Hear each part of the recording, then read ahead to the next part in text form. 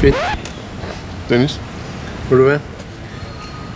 Tænk på, jeg tror grunden til nogle af de her kinesere, som vi møder på de her ture, de er så ekstreme at se ud. Altså, de ser så ekstreme ud i deres påklædning og deres frisyrer og sådan noget. Jeg tror simpelthen, det er fordi, det er sådan en eller anden desperat forsøg på at skille sig ud fra mængden. Altså, jeg mener, når man er... Ja, hvor mange er de? De er vel en 8-9 milliarder. Kører de en cola. Vi er i Beijing Lufthavn lige nu. Vi, skal, vi venter. Vi har en lille layover her på en 5 timer. det er tidlig morgen, super tidlig morgen, så der er ingen skid der åben. Jeg har lige spist en croissant, der var så tør, så det støvede, noget bed i den.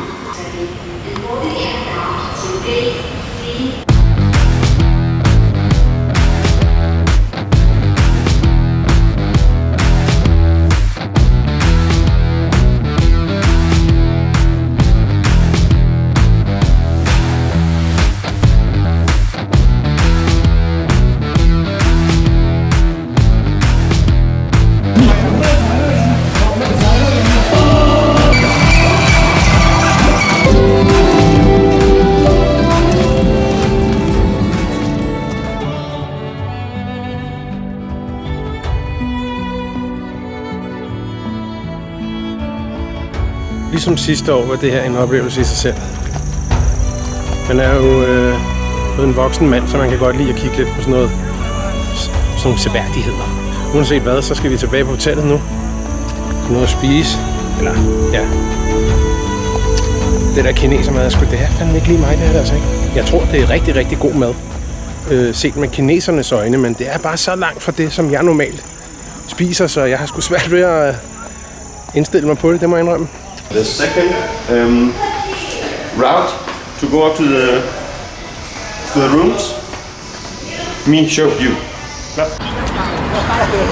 Hello, Hello! how are you? I'm good, how are you? Perfekt, mand. Så er der sgu da håbe.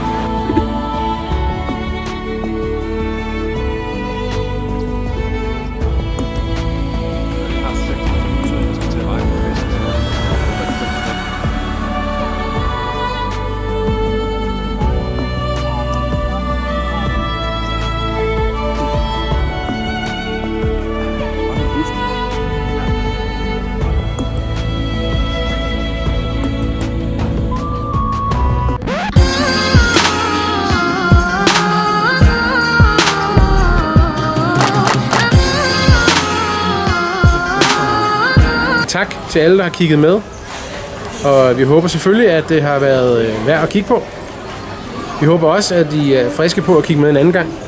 Og hvad hedder det? øhm, Ja, så er der vel ikke, til, Nå, ja, så er der ikke andet tilbage end at sige tak for denne gang, ikke? Finn? Jo. Heroppe. Kæft for det klør, det klør helvede til. Hvad er det, der klør? Det er de der myg, det er de der stik, sandfluestik der. Du snakker om masser af gange, jeg har dem også på hånden. Du har dem også. Vi har dem alle sammen. Sådan er det. Det skal du ikke være ked af. Sådan det. Det er Jamen, det skal du ikke være. Sådan det. Er sådan der. Sådan det. Slut.